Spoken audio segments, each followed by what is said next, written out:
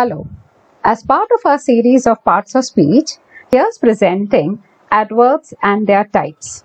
So what we're going to do through this presentation is the concept of adverbs and its various types. So let's begin. Well, the first thing that we have to do is to understand what is the concept of adverbs. So let's have a look at the sentences. The first sentence is, he walks to school. And the second one, one is, he walks briskly to school. Now in this, eh, we see that there are two sentences. Both the sentences have the same verb, that is walks, but the second sentence has a difference in it. In both the sentences, the action performed is same. However, in the second sentence, there is a word to describe the action.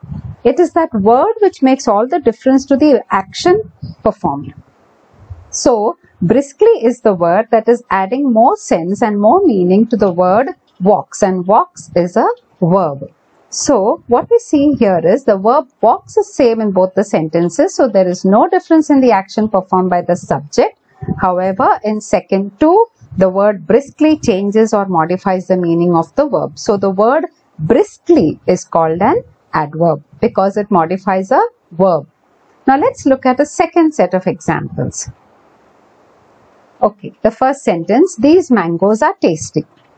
The second one is, these mangoes are very tasty. Now, the word tasty is the same in both. These mangoes are tasty is there in both the sentences, but the difference in the second sentence is though the adjective is the same tasty, however, the second sentence goes on to say that the mangoes are very tasty. So the word very has made a difference between the two sentences. It has made a difference in the adjective. So this word tasty is also an adverb. I mean, tasty is an adjective. The word very is also an adverb because it adds to the meaning or modifies the meaning of the adjective tasty. Let's go further with the concept. The same sentence. He walks briskly to school. So now we already have an adverb. We saw in the earlier slides that briskly is an adverb. But let us look at the second sentence now what we are doing. He walks quite briskly to school. Now, we had an adverb briskly. Now, we are adding another word which tells us about the adverb briskly. So, he is walking briskly fine, but how much briskly? So, it is adding more meaning to the adverb briskly. So, briskly is the same, adverb briskly is the same, but the word quite is changing or modifying the meaning of that adverb and therefore quite is also called an adverb. So, in these three sets of examples, what we saw is an adverb modifies three things. And what are they? An adverb is a word that modifies a verb, an adjective or another adverb. This is the complete definition of an adverb. Okay. So now that we have done the concept of adverbs, we move on to learn about the types of adverbs. Now let's see. What are the different types of adverbs? Now, this is a complete breakup of the various types of adverbs. So in all, we see that there are eight types of adverbs. Now let us look at them one by one. So the first one that we're going to see is the adverb of time. So let's see what are the sentences here. The players won the match today. So the word highlighted is today. What's the action? Won is the action or it's a verb. So today is adding more meaning to the word won. It is telling us about when this happened. Monsoon has arrived when? Early this year. So they are both these words which are highlighted are modifying the verbs won in the first sentence has arrived in the second sentence. So we say these words today and early answer the question when and are therefore called adverb of time. For example, now, tomorrow, etc. Now that we have done adverb of time, we shall now move on to learn what is the next type of adverb. Let's take a look at these sentences. The players celebrated here. Celebrated is the verb. Let's ask a proper question. The players celebrated where? Here. Okay. Next question. I have lost my ring somewhere. So let's ask the question. I have lost my ring where? Somewhere. So they both are answering the question where. Here and somewhere answer the question where. And therefore they are called adverb of place. So now we have completed two out of eight types of adverbs. First one adverb of time. The second one adverb of place. Let's move on to learn the other types of adverbs. Take a look at these sentences. The players proudly received the cup. Okay, received is the verb. So how did they receive the cup? Proudly. So it's modifying the verb received. Let's see the next one. The machine calculated automatically. How did it calculate? Automatically. So it is answering the question how. So therefore, it is telling us the manner in which the action was performed.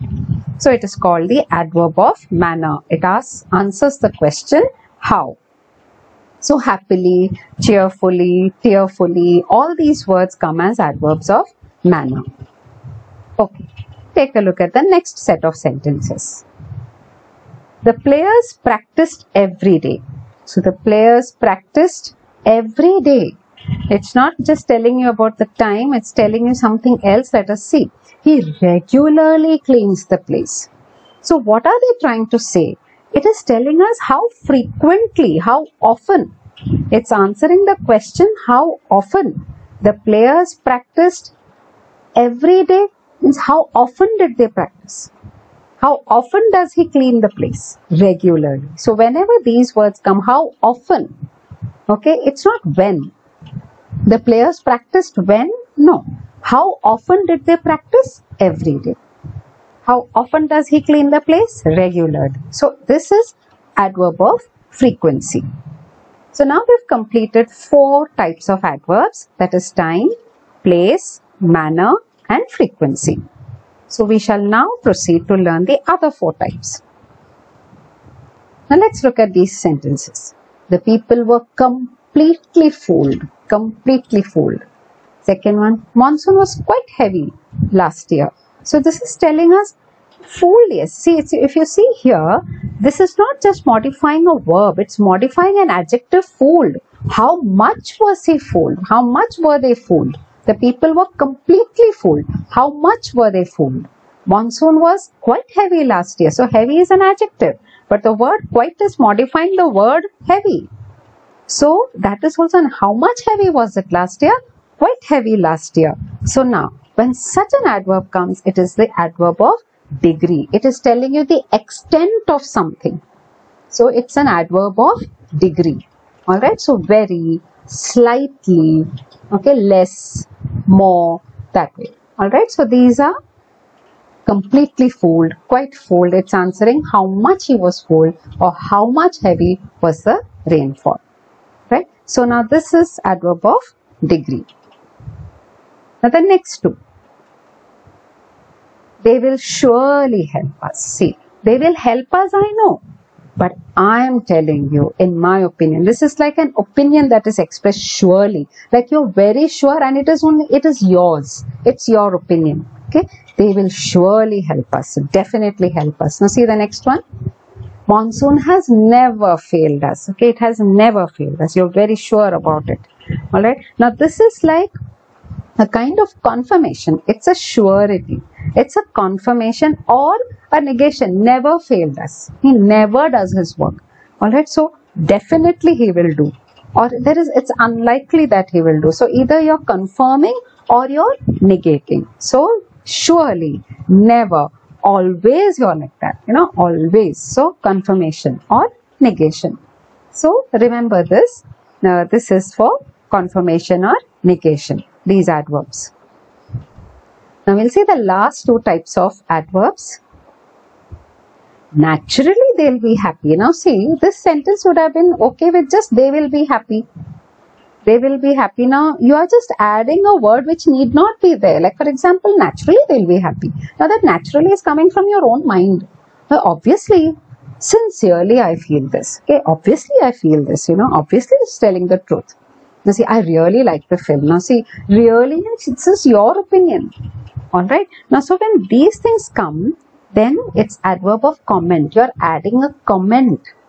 These are comments that you're adding. Seriously.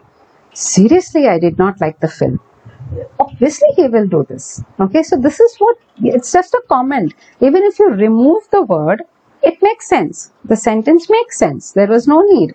Okay, I like the film, but I really like the film. Then naturally they'll be happy. Okay, this is your opinion.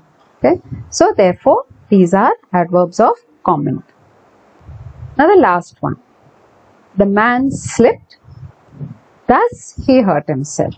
Let's see the commonalities between these two sentences. I want you to pay attention to the common punctuation, which is the semicolon. The man slipped, thus he hurt himself all right so you're finding out that there is a kind of continuation to the sentence but there is a word which is allowing you to continue okay now what is the meaning of this it's called adverb of conjunction this is the word which is actually joining two sentences but instead of you know just putting a conjunction just like that they have put a semicolon thus he heard it gives you meaning and it gives you a connect between the with the previous sentence. It rained, however, the crops failed. Means in spite of raining, the crops failed. But they are putting the conjunction, however, but before that they put a semicolon. So this is adverb of conjunction. So you put moreover. I did it. I did this work. Moreover, I also did something else. Okay. So nevertheless, moreover, these are words that are used as adverbs of conjunction. So we have done the eight types of adverbs. Now uh, we have done the concept of adverb and we have done the eight types of adverb. Hope you have understood. Thank you for your attention.